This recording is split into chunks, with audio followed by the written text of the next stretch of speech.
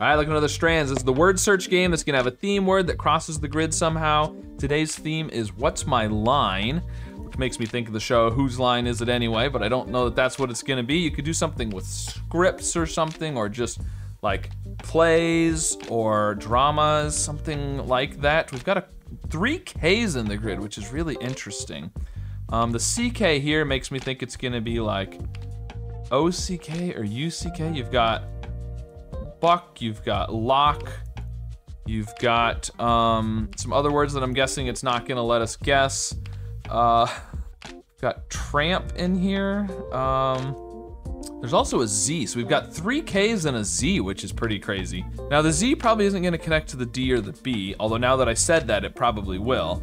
But we've got fish, ooh, clown, clownfish, clownfish, what's my line? Could it be fishing, like a fishing line? Okay, that's what it's gonna be. It's gonna be fishing. Uh, do we have, no, not fishing. Um, maybe.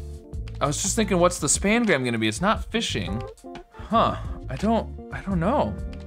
Got rank and, can we do piranha? I don't know if we can quite do piranha, almost. Piranha, no, no, I don't think so. We've got, interesting, you can do bunk bed, but I don't know what that would have to do with what's my line and clownfish, but that's a thing you can do. That's a word that's in there. And blimp? Zebra. Oh, z. Oh, it's it's it's animals with stripes. That's what it is. Zebra, clownfish. It's not a fishing line. It's animals with stripes. Striped. There we go. Okay.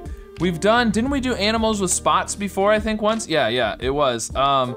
All right. So what else? Uh, chip chipmunk. Chipmunk. Do chipmunks have stripes? Maybe they do. Tiger. There we go. Uh, heel, no, bee, a bumblebee, bumblebee, bumblebee, and a skunk.